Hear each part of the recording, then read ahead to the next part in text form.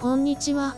元横綱、北斗海さんこと八角理事長は、現役時代、千代の富士さんの弟弟子として、同時代の横綱として活躍しました。引退後も親方として後進の指導をこなしてきた北斗海さん。一方、千代の富士さんも九重親方として多くの力士たちを育ててきましたが、膵臓癌のため61歳で急逝しています。今回は、北斗海さんが千代の富士さんに語ったある言葉について紹介していきます。合わせて、両者の絆や取り組みについてなども一緒に紹介していきます。ぜひ、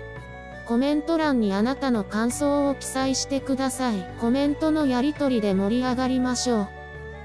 う。2015年11月、北の海理事長が急逝すると、新理事長に就任し、一躍注目を浴びることとなった八角理事長こと北斗海さん、現在も理事長として、各界を支え続けています。そんな北斗海さんは、元横綱、北の富士山から九重部屋への勧誘を受けていたそうです。その後、中学を卒業した北斗海さんは、引退して親方となった北の富士山の九重部屋へ、正式に入門しています。1986年3月には幕内優勝。同年9月には大関に昇進した北斗海さん。当時、初土俵から、星の名前で相撲を取り続けていましたが、大関昇進時に四股名を北斗海に改めました。1987年に横綱に昇進し、各界のトップに躍り出た北斗海さん。1992年5月に現役を引退するまで、幕内優勝8回を成し遂げました。現役時代は、千代の富士さんの弟弟子であることと、その千代の富士さんの激しい稽古によって、才能を開花させたと語られているようです。しかし、北斗海さんは千代の富士さんよりも年齢は若かったものの、千代の富士さんほどの成績を残すことはできず、当時はあまり目立った存在ではなかったと言います。千代の富士さんと比較すると優勝した数も少なく、数少ない優勝や活躍も千代の富士さんが休場している時に集中していたようです。北斗海さんにとって千代の富士さんは大きな壁であり、ライバルになっていたようですが、その一方で、千代の富士さんとの厳しい稽古があったからこそ、横綱に昇進できたとも言われています。そんな二人は、89年7月16日、名古屋場所において、優勝決定戦で直接対決しました。この戦いは唯一の同部や横綱による戦いとなり、千秋楽の愛知県体育館は熱気に包まれていたと言います。85年秋場所から87年春場所まで、九重部屋10連覇の金字塔を打ち立てた北斗海さんと千代の富士さん。88年夏場所からも2人で圧倒的な強さを見せつけ、名古屋場所も両横綱の決定戦となった時点で、九重部屋の8連覇が決まっていたと言います。勝負は北斗海さんが立ち会い、腹突き放しに行ったものの、一方の千代の富士さんも負けずと食らいついていったようです。強引に左4つに組み止め、豪快な右上手投げで北斗海さんを転がした千代の富士さん、見事に28度目の優勝をつかむと、安心したような、感慨深げな表情で宙を見つめていたと言います。当時、同部屋優勝決定戦は40年ぶりとなっており、その上、共に稽古を励んできた兄弟弟子の対決となったことから、どちらが勝つのか、どんな戦いを見せてくれるのかと多くのファンから注目を集めたようです。しかし、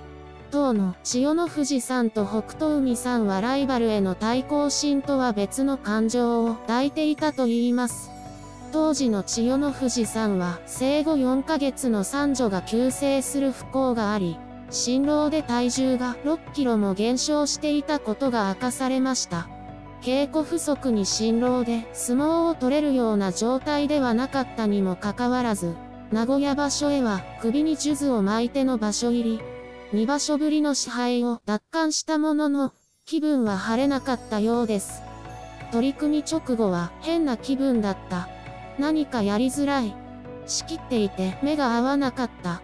向こうもこちらを見ないようにしていたし、こんな決定戦は今後、絶対にやりたくない。と複雑な表情を浮かべていたと言います。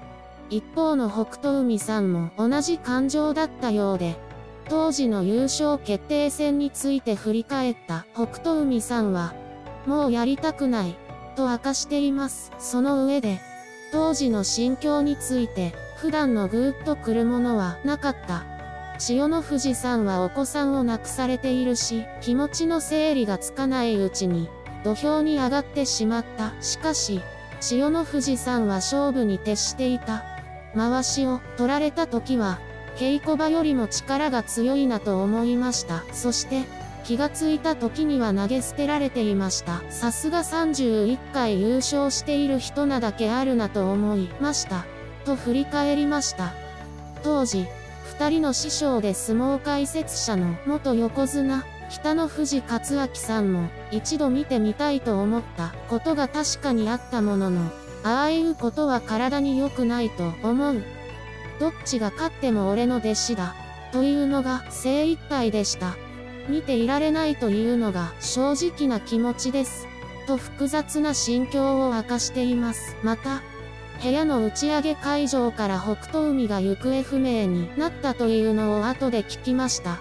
よほど一人になりたかったのだろう、と明かしました。それに対して、北斗海さんは、行かなくても良いのではないか、と若干ふてくされていたのかもしれない、と当時について振り返っています。やはり思うところがある中での取り組みは苦しいものがあり、生涯最大の壁、ライバルとして何の悩みもしがらみもないところで思い切り戦いたかったというやり場のない悔しさもあったのかもしれません。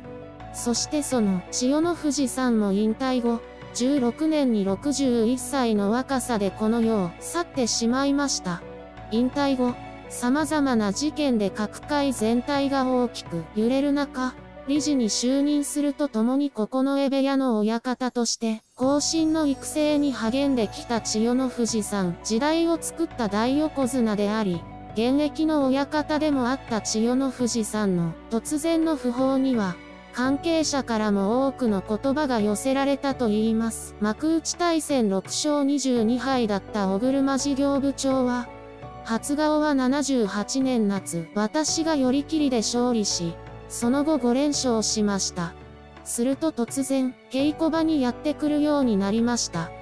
東京にいても、巡業にいても、いつも胸を合わせました。その後は11連敗で、千代の富士さんは本当に強かったです。と現役時代について振り返りました。北斗海さんも理事長としてコメントを求められると、幕下時代からの思いを吐露。稽古を毎日やってくれた。力を抜いてくれないんだ。お互い意地と意地、絶対に嫌とは言わない。でも、それはありがたいことだった。悪いとは聞いていたが、絶対に強い人だと思っていたから治るんだろうな、と思っていたのに、と声を詰まらせました。また、精神的に追い詰められながらの大一番を振り返り、娘さんを亡くしても、切り替えと集中力。もうダメ、引退、と言われながら優勝するんだから、とその強さを称えていました。部屋を訪れ、兄弟子の前で20分ほど手を合わせていたという北斗海さん。偉大な人が亡くなった。寂しい、ゆっくり休んでくれと言った。とこぼしました。平成の相撲界を大いに盛り上げてくれた千代の富士さんと北斗海さんの思いは、次の相撲界を担う力士たちに受け継がれていくでしょう。これからの大相撲には目が離せませんね。ぜひ皆さんも、一緒に応援していきましょう。この後関連した動画もご案内しますので、ぜひご覧ください。チャンネル登録やコメントもよろしくお願いいたします。